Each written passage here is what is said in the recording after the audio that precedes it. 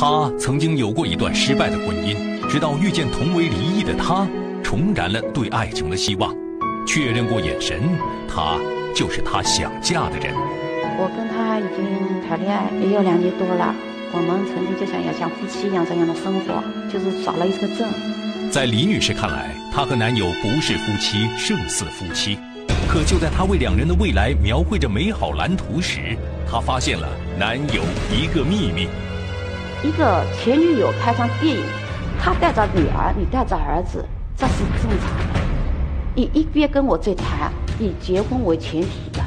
李女士难以承受男友的荒唐行为，更让她抓狂的是，和男友藕断丝连的不仅有前女友，还有前前女友，又是另外一个前女友。前女友们的轮番上阵，让李女士感觉地位受到了威胁，身心遭受重创。我一心一意的付出，我回报的是什么？这里那里，我觉得得到都是欺骗，我都已经崩溃了。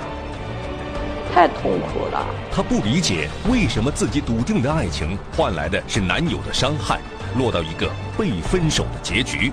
我不想走下去。他说：“我这一辈子不管怎么样，我都会要你，都会不会跟你分开，怎么怎么的。”明明受伤如此之深的他，又为何抱着过去的承诺不放？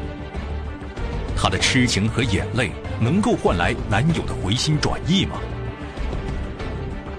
方先生，我怎么感觉你也在利用你旁边的李女士呢？到底你们谁套住了谁？究竟这两年来他们之间经历了怎样的爱恨情仇，有着怎样的牵绊？最后这对恋人是选择让爱重来，还是分道扬镳？一起走进今天的金牌调解。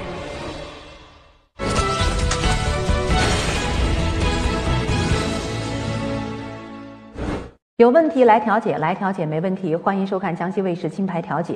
本节目由豪氏首席特约播出。豪氏只用真材实料做好面包。我是张燕，欢迎本场调解员胡建云胡老师，欢迎您。欢迎场上的观察员们，欢迎大家。欢迎场上的一对当事人李女士和方先生，两位今天来到金牌调解，要解决什么问题？对于这段感情，目前来说，我不想走下去。来这里是也想解决这个问题。你今天是希望他能够接受你分手的这个结果？对。一个男人如果要分手，都没有正面的跟你说我们分手，你叫我怎么来接受？我也不知道怎么样叫分手。你今天才知道他刚刚说出来是想跟你分手？对。如果正面来处理问题，我能接受。前面不也提过的？没有。感情是两个人的开始，应该也是两个人的结束，对吧？我跟他已经谈恋爱也有两年多了，我们曾经就想要像夫妻一样这样的生活，就是少了一个证。现在我很纳闷，我没有做错任何事情，说要跟我分手，我不知道是什么原因。如果能正常的发展下去，我希望是这样，我心里还放不下他。李女士坚持，感情是两个人的开始，也应该是两个人的结束。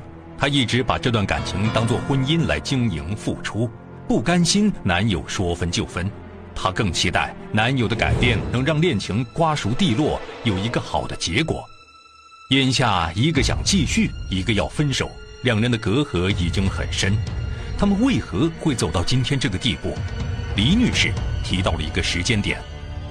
给我的感觉真正不好，是去年四月十五号开始的。那一天刚好是李女士的生日，她原本想男友陪在身边，可男友却编造了一个谎言，出门了。四月十五号是我的生日，他说那天我有事情，然后要去谈一个什么业务吧。他有个儿子，他的儿子呢又跟他说了，说他也跟他同学约好了去看电影，也是那一天。那是我好的，那你把他送过去。过了一个星期左右，他的儿子跟他有冲突、有矛盾，结果呢，最后呢告诉我阿姨，我告诉你一件事情。他说：“你知道你过生日的那一天是我们去干嘛了吗？”我说：“你不是跟你同学，我说你去看电影了，你爸不是说有事情出去了吗？”结果他儿子告诉我：“阿姨，你太幼稚了。”他说：“那个阿姨姓王的，她带着她的女儿。”他带着他儿子两个人去看电影。我知道了这样的情况，作为一个女性来说，真的是伤害很大。我要去找他证实了，他给我的答案是，跟我之前跟他是谈的，然后两个人分手了。前女友对，那属于前女友，说是打电话给他说过来玩，然后呢说去看场电影，他说这样也是很正常。拍了电影以后什么都没发生，然后马马上一散场，然后他带着女儿走了，他带着儿子走了，吃顿饭也没有。我当时这样子说，一个前女友开场电影，他带着女儿，你带着儿子，这是正常吗？你一边跟我在谈以结婚为前提的，这个我想问一下方先生，如果儿子不说这个事儿出来，你也是不会告诉他的。对，布鲁斯告诉他们，肯定也有顾忌啊，顾忌他的心情啊。如果说明着告诉他的话，肯定接受不了。他对这个我外面接触女性很顾忌的。那你这种情况那天是他生日，你觉得合适吗？